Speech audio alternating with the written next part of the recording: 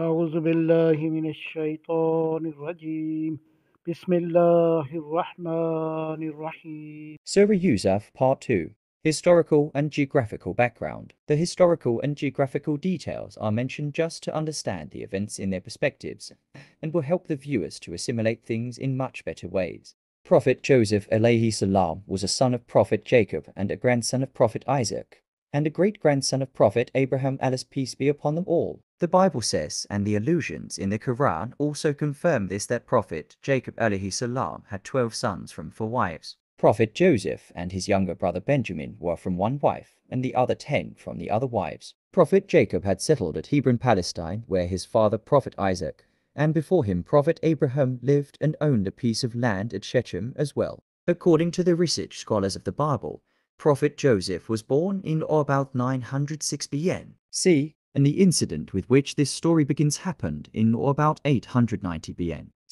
He was 17 when he saw the dream and was thrown into the well. This well was near Dothan to the north of Shechem according to biblical and Talmudic traditions, and the caravan, which took him out of the well, was coming from Gilead Transjordan and was on its way to Egypt. At that time, 15th dynasty ruled over Egypt, whose rulers are known in history as the Hyksos kings. They belonged to the Arab race, but had migrated from Palestine and Syria to Egypt in or about 2000 BN. C. and taken possession of the country. The Arab historians and the commentators of the Quran, and this has been corroborated by the recent researches made by the Egyptologists. They were foreign invaders who had got the opportunity of establishing their kingdom because of the internal feuds in the country. That is why there was no prejudice in the way of Prophet Joseph's ascendancy to power and in the subsequent settlement of the children of Israel in the most fertile region of Egypt. They could gain that power and influence which they did because they belonged to the same race as the foreign rulers of Egypt. The Hyksos ruled over Egypt up to the end of the 15th century BC, and practically all the powers remained in the hands of the Israelites. The Quran has made a reference to this in verse 20 of Al-Ma'idah. He raised prophets among you and made you rulers. Then there arose a great nationalist movement which overthrew the power of this dynasty and exiled 150,000 or so of the Amalekites. As a result of this, a very bigoted dynasty of Copts came into power and uprooted everything connected with the Amalekites. Then started that persecution of the Israelites, which has been mentioned in connection with the story of Prophet Moses alayhi salam. We also learn from the history of Egypt that the Hyksos kings did not acknowledge the gods of Egypt, and therefore had imported their own gods from Syria, with a view to spreading their own religion in Egypt. This is the reason why the Quran has not called the king who was the contemporary of Prophet Joseph alayhi salam by the title of Pharaoh, because this title was associated with the religion of the original people of Egypt, and the Hyksos did not believe in it. But the Bible erroneously calls him Pharaoh, it appears that the editors of the Bible had the misunderstanding that all the kings of Egypt were pharaohs. The modern research scholars who have made a comparative study of the Bible and the Egyptian history are generally of the opinion that Apophis was the Hyksos king, who was the contemporary of Prophet Joseph alayhi salam. At that time, Memphis was the capital of Egypt, whose ruins are still found on the Nile at a distance of seven kilometers south of Cairo. When Prophet Joseph alayhi salam was taken there, he was 17 or 18 years old. He remained in the house of Artsitz for three years and spent nine years in prison, and then became the ruler of the land at the age of 30 and ruled over Egypt independently for 80 years. In the ninth or tenth year of his rule, he sent for his father, Prophet Jacob, to come from Palestine to Egypt with all the members of his family, and according to the Bible, settled them in the land of Goshen, where they lived up to the time of Prophet Moses salam. The Bible says that before his death, Prophet Joseph alayhi salam bound his kindred by an oath. When you return from this country to the house of your forefathers, you must take my bones out of this country with you. So he died a hundred and ten years old, and they embalmed him. Though the story of Prophet Joseph alayhi salam as given in the Quran differs very much in its details from that given in the Bible and the Talmud, the three generally agree in regard to its component parts. We shall explain the differences, when and where necessary, in our explanations.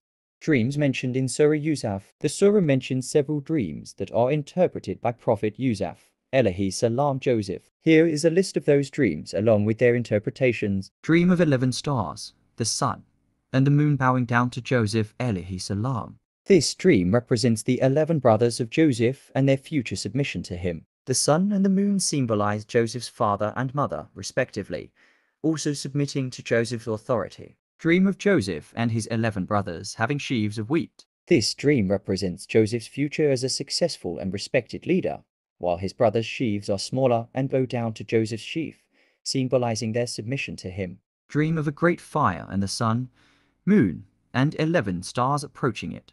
This dream represents a future event where Joseph will have a significant impact on the people around him, represented by the sun, moon, and 11 stars. The fire symbolizes the trials and difficulties Joseph will face.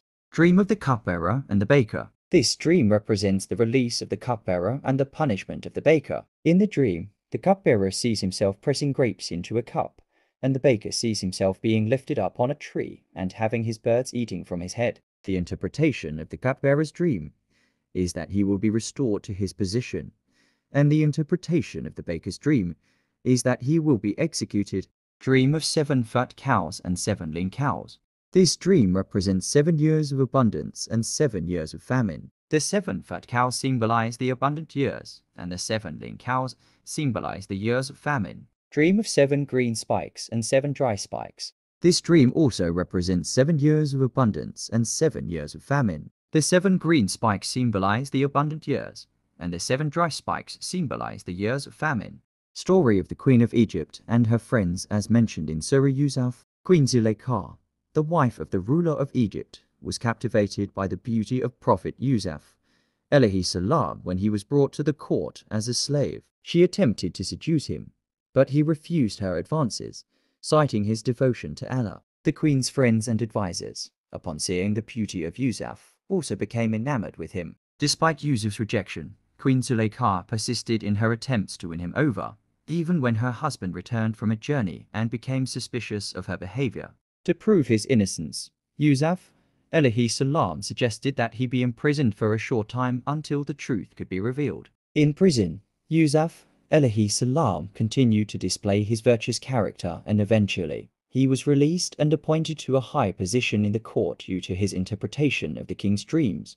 In the end, Yusuf alayhi salam was reunited with his family, and the queen and her friends were left with a newfound respect for his character and beliefs. This story highlights the themes of temptation, virtue, and divine justice, and serves as a reminder of the importance of remaining steadfast in one's faith, even in the face of temptation. Brief summary of the main themes covered in each set of 10 verses. Verses 1 to 10. The story of Yusuf and his dreams of greatness, and the jealousy of his brothers towards him. Verses 11 to 20. Yusuf's brothers plot against him, and he is sold into slavery. Verses 21 to 30. Yusuf rises to a position of power in Egypt and is falsely accused of a crime. Verses 31 to 40. Yusuf, alayhi salam, is imprisoned, but he continues to have faith in Allah and interprets the dreams of his fellow prisoners. Verses 41 to 50. Yusuf is released from prison and becomes a trusted advisor to the Pharaoh. Verses 51 to 60.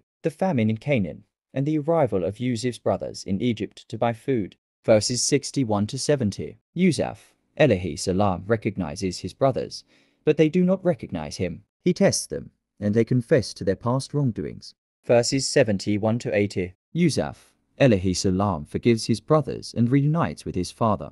Verses 81 to 90. The story of Yusuf serves as a reminder of the power of Allah's plans and the importance of having faith in difficult times. Verses 91 to 100. The surah shifts focus to the importance of following the guidance of the Quran and avoiding the temptations of the devil. Verses 101 to 111. The surah concludes with a reminder of the rewards for those who have faith and do good deeds, and the consequences for those who reject the truth. Lessons learned from reading Surah Yusuf include the importance of being patient in the face of adversity, the dangers of jealousy and deceit, and the power of forgiveness and reconciliation. Additionally, the surah emphasizes the idea that God is always in control and that good things can come from difficult situations. Overall, Surah Yusuf provides a powerful message of hope, perseverance, and trust in the plans of Allah. Alhamdulillah, today we completed our reading of Surah Yusuf. May Allah gives us sense to understand and implement teachings of Quran in our lives. Amin. Thanks.